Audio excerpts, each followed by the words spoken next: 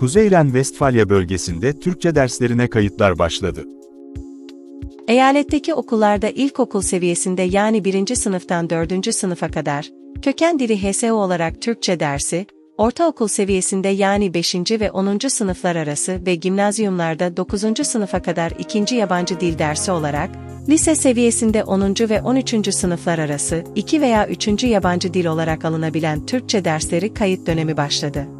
Okullarda verilen Türkçe derslerine kayıt yaptırmak için velilerin, okullardan temin edebilecekleri veya eğitim ataşeliklerinin web sayfalarında bulunan ders kayıt formu ile okullara başvuru yapması gerekiyor.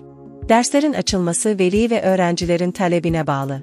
Başvuru süreci, derslerin açılması için gereken şartlar ve diğer tüm bilgiler konsoloslukların web sayfasında bulunan Türkçe sekmesinden edinilebilir.